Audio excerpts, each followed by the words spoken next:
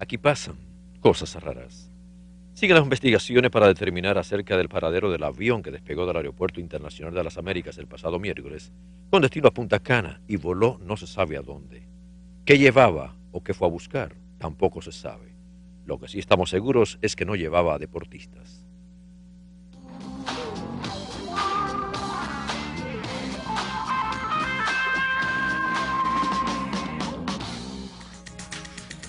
Vamos rápidamente con En Rueda, señores. El robo de vehículos no se detiene ni en el exterior ni en la República Dominicana, pero vamos a mencionar un caso hoy de un caballero que se robó un Ferrari en Los Ángeles.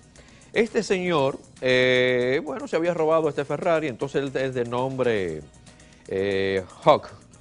Entonces, Honey Hot se llama el caballero, el ladrón.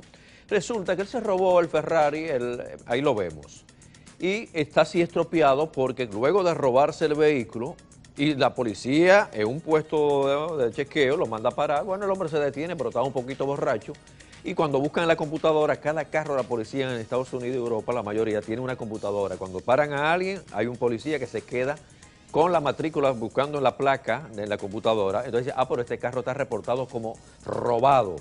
Bueno, agarran el hombre y dice, bueno, este carro está robado, se manda el hombre, se le escapó a la policía porque la policía se quedó ahí en un tapón, no pudo darle seguimiento. Al día siguiente, a las 3 de la mañana, ese caballero fue al depósito de embargo de, vehículos y se robó de nuevo el mismo carro. Entonces cuando la policía le cae atrás de nuevo, fíjense ya las condiciones, dice, pero ven acá muchacho, pero tú eres cabeza dura, entonces se lo robó dos veces. El mismo carro, el mismo carro se lo, se lo llevó dos veces. Ese negro que ustedes ven ahí, un Ferrari Spider. Un, oh, un ladrón que le gusta lo bueno.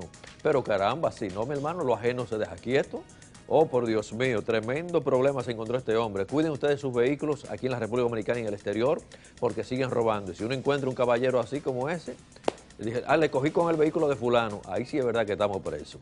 Vámonos con los precios de los combustibles, señores. Bajan los combustibles para eh, la próxima semana. Hay una buena rebaja.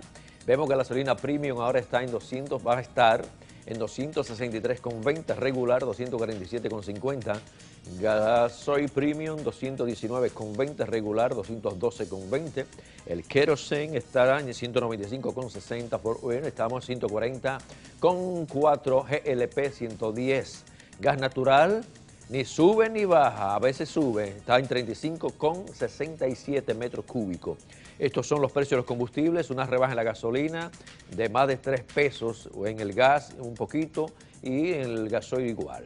Hasta aquí, señores, gracias por la sintonía, se quedan con nuestro canal. Aquí finalizamos Variedad TV. Pasen buen fin de semana y cuídense.